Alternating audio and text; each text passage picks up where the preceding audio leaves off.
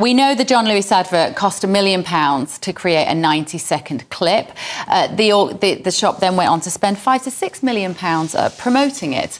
Um, but there's an advert which has taken social media by storm. It is uh, for a pub in Northern Ireland. It's left viewers in tears. Uh, here it is. God knows what is hiding in those drunken hearts. Guess he kissed the girls and made them cry those hard faced queens of misadventure. God knows what is hiding in those weak and sunken eyes. Fiery thrones of muted angels giving love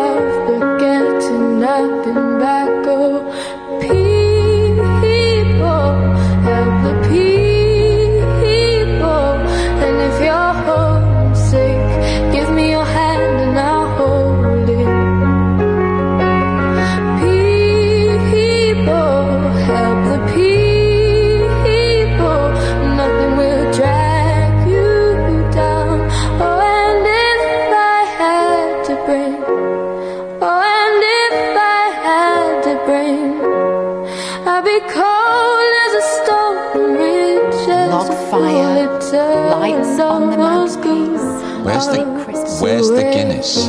There's the Guinness. Guinness is coming up. So the old the old guy takes. There he is. The He's table, got his Guinness.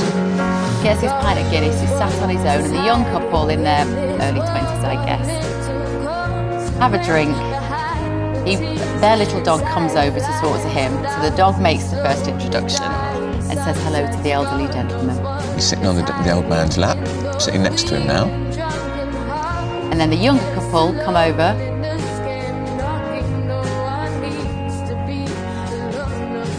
my talking is ruining it for the viewers, but I'm conscious of people on the radio that might not know what's happening here. And the young couple. They come over to sit down, sit with him, and their drinks. Shake his hand and say hello.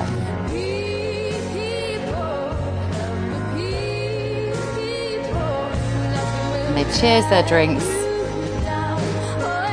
Charlie's Bar. There are no strangers here, only friends you haven't met yet and that's a W.B. Yeats quote. Oh, it's, it's lovely. so lovely, isn't it? And it's oh, gone so viral. It's it's yeah. huge. It, I mean, it's I just know. the power of social media, Isn't it? I know. Um, it goes to the heart of Christmas, uh, doesn't exactly. it? But old know, people on their own, a nice young couple. The dog breaks the ice. Yeah. And totally rooted in place as well. That's yes. what's different. So all these ads that we see, like the John Lewis ad yeah. and the other Christmas ads, I mean, you know, all shot in, in June in a studio. But that just gave us a real sense of Enniskillen as a place, didn't it? So did that's it what I really like. It. it did actually. I'm feeling, I'm, you know, I'm feeling a bit teary up. Oh, I, yeah, definitely oh. have tears in my eyes. I think this is really, really lovely, obviously for, for Enniskillen and for the sort of localness of it all, but also loneliness is such a big issue for people of all ages. And yeah. I hate to bring up the pandemic, but it was one of the biggest consequences, mm, totally. mental health consequences, was anxiety, depression, eating disorders, and loneliness amongst the amongst young people, people of all ages, and the elderly. But the reminder mm. that the elderly, and you can be lonely in a crowd, you can be lonely with, mm. on your own, you can be, you know, it's just the idea, especially at this time of year,